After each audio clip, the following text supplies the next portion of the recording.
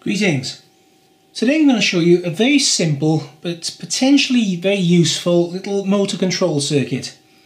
And all it involves, apart from the motor itself, is two relays, two diodes, two micro switches, two push buttons.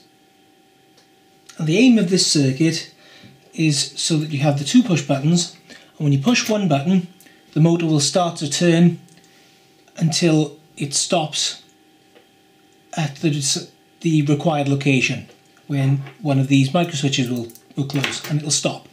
And it'll stay there until you push the other button when it'll wind back to get to the other position when the other micro switch will stop. Now why, why is this useful? Well the reason I decided to look into this circuit was uh, some friends of mine uh, started building arcade machine units and I thought it would be nice to have an automatic rotator for the screen. So you push a button and the, the screen would rotate to portrait mode for playing up-down vertical scrolling games. Or push the other button then to spin the screen background to landscape mode for other games. So I came up with the circuit fairly simply. No doubt other people have done the same circuit. It's it's it's dead simple circuit. But I'll show you what the circuit is anyway, and I'll give you a quick demonstration. Here you can see the circuit with the two relays, top and bottom, the two push buttons, and the two micro switches over near the motor. Now these two halves of the circuit, the top and the bottom half, are virtually identical. So we'll just trace through. Initially when you power it up, neither of the relays are on, and the contacts are exactly as you see them in the diagram here. That means that both sides of the motor are shorted together and connected in this case to ground. What happens if you push push button 1, let's take the supply from there, the push button 1, if you follow that down to the end of the bottom relay, relay 2, you can see it's getting a signal there from the incoming supply. It's coming through the contact and in. So you push the button and that then goes through and energizes relay number one.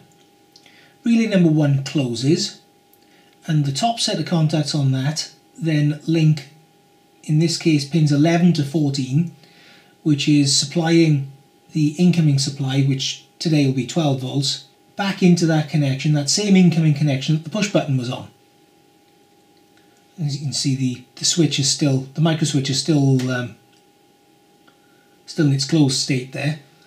So what's happened now is you can let go of that push button and that relay will hold itself on. It's just latched itself on and it'll stay on until switch number one is changed over. When you do that it'll break the supply to the relay and the relay will click back to its resting state as you see here. Now while that was switched over, if you look at the other connections of relay 1, it switched one half of the motor to the incoming motor supply, which sends the motor spinning in one direction, right up until the micro switch is triggered when it stops. Button number 2 is exactly the same, except that gets its supply from pin 12 of the top relay but the circuit is identical. You push the button, it trips the relay, relay runs until switch number 2 is closed. And while that's running, the other side of the motor is switched to the 12 volt rail. So you're running the motor in reverse this time. Now these relays are double pole, double throw relays, so they're 8 pin relays. Unfortunately, here's one, but it's the, the only one I have. So what I'll be using instead are two of these 5 pin relays. I'll just connect the coils in parallel and you can see you've got the, the one set of contacts on here and we'll have another one alongside. So for this demonstration I'll actually be using four relays. And this tangled mess is the end result. I've got this motor here with an old PC expansion blanking plate glued onto the shaft of the gearing. I haven't used the micro switches, I've used these old telephone hook switch connection uh, switches instead because I haven't got the big long lever actuators on my micro switches. These have got them, so these are fine. We've got the push buttons. Everything's all block connected together. I've left the diodes out because I'm not running this as part of any sort of electronic circuit, so I haven't got to worry about the back EMF spikes from the relay causing any problems. So, does it work? We've got these blue connections here are the supply circuit for the, the relay side and the orange connections here are the supply circuit for the motor side. You've seen on the diagram that they've got separate supplies for that.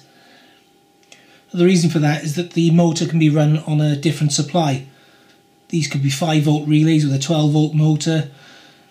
With careful design and the right type of motor, you could even do this with mains by using the relays to switch the the rotor winding back and forth whilst keeping the stator winding in series with it. So, does it work? Let's have a go. Of course, didn't work first time. Got the motor the wrong way around. 50-50 chance you're going to get the motor the wrong way around. Well, in reality, you pretty much guarantee you're going to get the motor the wrong way around. Anyway, this is in a partial position, midway between them. You wouldn't normally have it in, in this position, position unless you've only just built it. So let's see what happens when I push this button. That worked. And this button.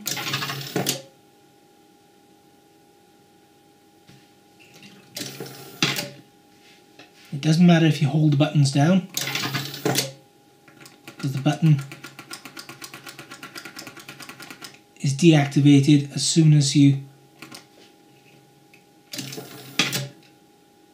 start the thing running.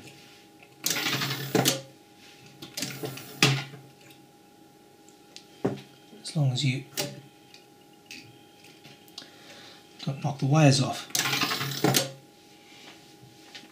You might think that I've overcomplicated this by supplying these switches from the opposite relays. But the reason for that is simple. I'm going to make a slight change to the circuit diagram and take the switch power straight from the supply. Right, here we go. Circuit looks much the same and behaves much the same as before until you push two buttons. If you push the, the second button while it's in motion, what's happened now is the second pair of relays have closed in as well, which has flipped the other side of the motor to the supply. So you've got 12 volts on both sides of the motor and it's stopped dead. It's not going to go anywhere now until either you reset it by disconnecting and reapplying power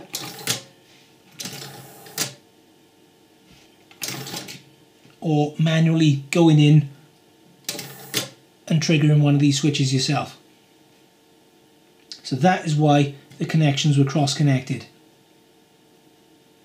With them cross-connected, as soon as the one relay energizes, the other button loses all ability to work until that relay stops because it's reached the end of its travel.